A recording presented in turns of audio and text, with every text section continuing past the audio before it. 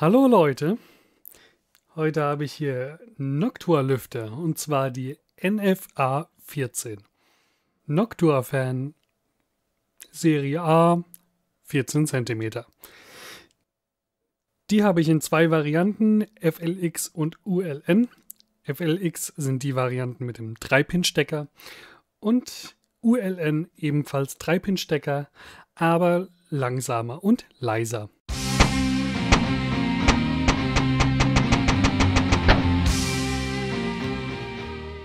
Noctua-Lüfter sind ja immer so was Emotionales. Entweder man sieht sie sich an und denkt, "Ah, was ist denn das? Oder man kennt die Farben und hat sie lieben gelernt.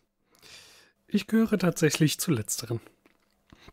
Naja, für mein Case ein Fractal Design Arc XL könnte ich mal ein paar neue Lüfter brauchen, zumal ich auch noch Platz habe für einen weiteren 14 cm Lüfter.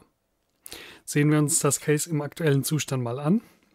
Vorne befinden sich zwei Fractal Design Lüfter, hinten aktuell einer, da unten von Be Quiet ein Pure Wings 2 und oben am Radiator sitzen drei Aorus-Lüfter. Das Ziel meiner Aktion ist es jetzt, die beiden Gehäuselüfter im Innenraum auszutauschen gegen Noctua-Lüfter. Außerdem wollte ich sehen, wie die Noctua-Lüfter sich im Vergleich zu den ursprünglich verbauten Fractal-Design-Lüftern verhalten. Und naja, da habe ich mal ein paar Tests gemacht.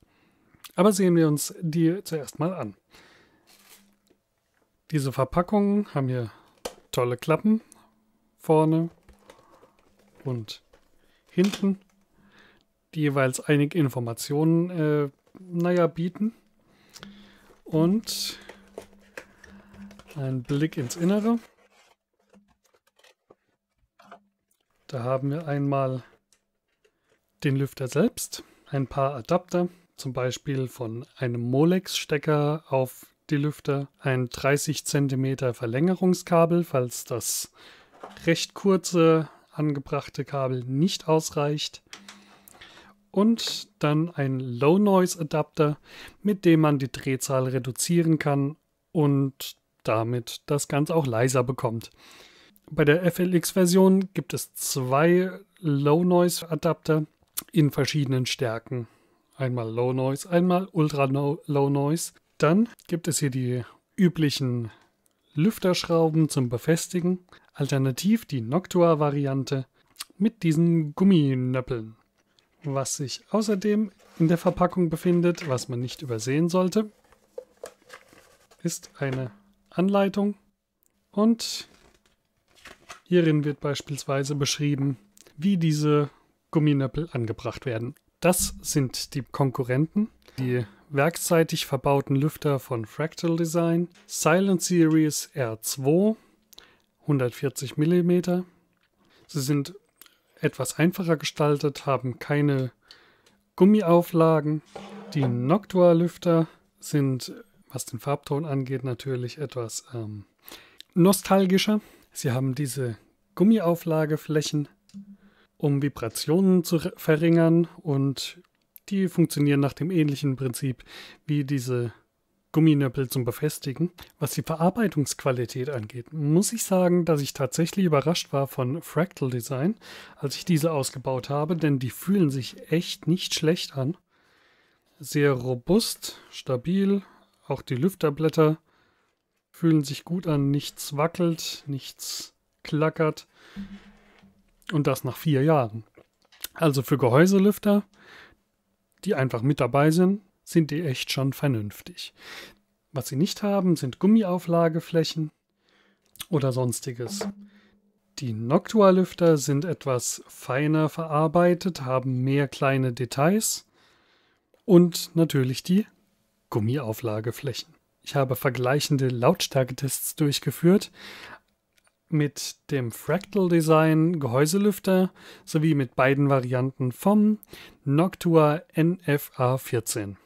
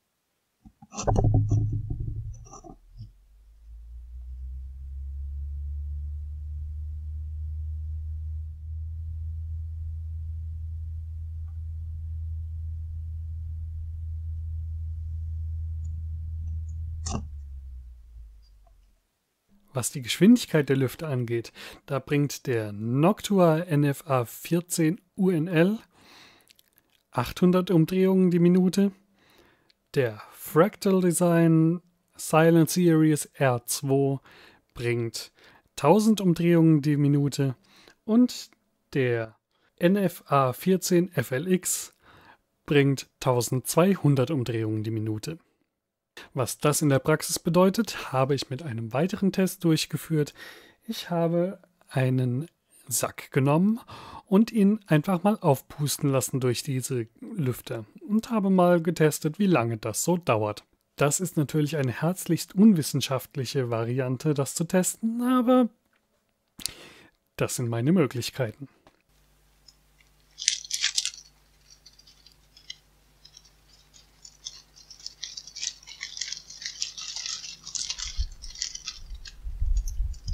neun Sekunden.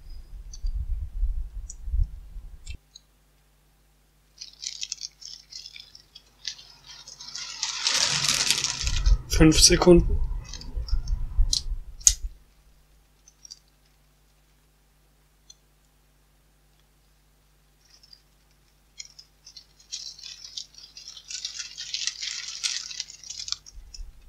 Acht Sekunden.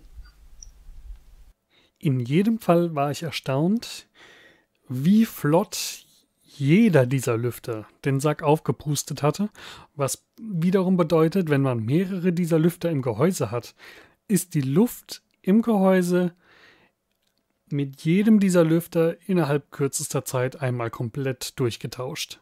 Zur Befestigung der Lüfter kann man diese Gumminöppel, diese Silikonbefestiger nutzen Zunächst werden diese Gummibefestigungen durch das Loch im Gehäuse gezogen. Anschließend muss man den Lüfter aufsetzen und dann wird es etwas fummelig. Und dann wird hier dazwischen gegriffen und gezogen. Der Lüfter wird gegen das Gehäuse gedrückt und von der Gegenseite muss man ebenfalls drücken, damit es diesen Gumminöppel nicht wieder rauszieht.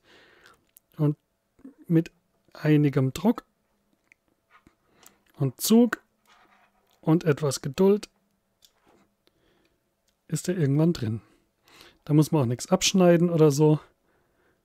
Das bleibt einfach so, wie es ist.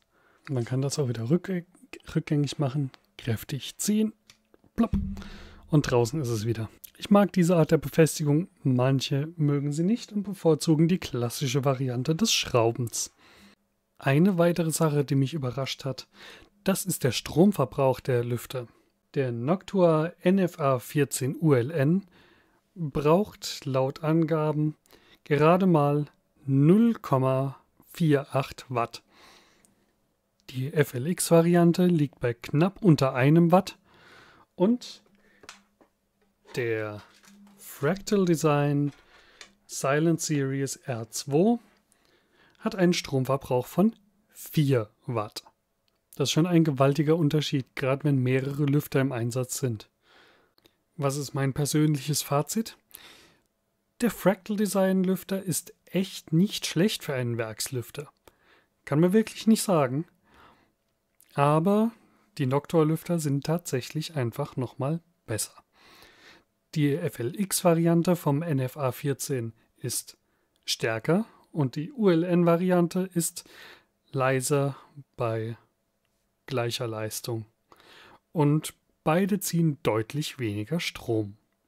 Da sind die beiden Gehäuselüfter nun eingebaut. Der NFA 14 ULN befindet sich am Gehäusecontroller für die Lüfter. Dabei ist aufgefallen, dass er in einer Einstellung von 5 Volt überhaupt nicht startet.